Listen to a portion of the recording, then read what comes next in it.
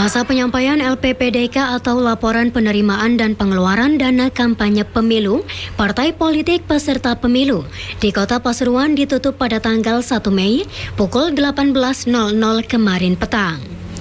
LPPDK merupakan catatan pembukuan yang berisi seluruh penerimaan dan pengeluaran dana kampanye peserta pemilu yang digunakan untuk kepentingan kampanye baik dalam bentuk uang, jasa maupun barang. Menurut Komisioner KPU Kota Pasuruan, Royce Diana, dari 14 partai politik peserta pemilu 2019 di Kota Pasuruan, 13 partai politik telah menyetorkan LPPDK.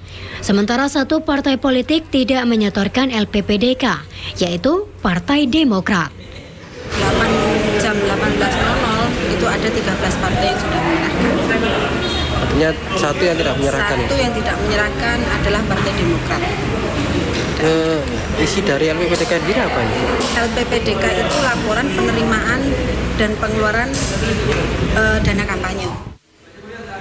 Dalam rekapitulasi perhitungan suara untuk DPRD Kota Pasuruan, Partai Demokrat tidak mendapatkan jatah kursi.